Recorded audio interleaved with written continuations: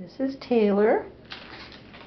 Really sweet. All she wants to do is rub up against my legs, so that's what we'll get a video of.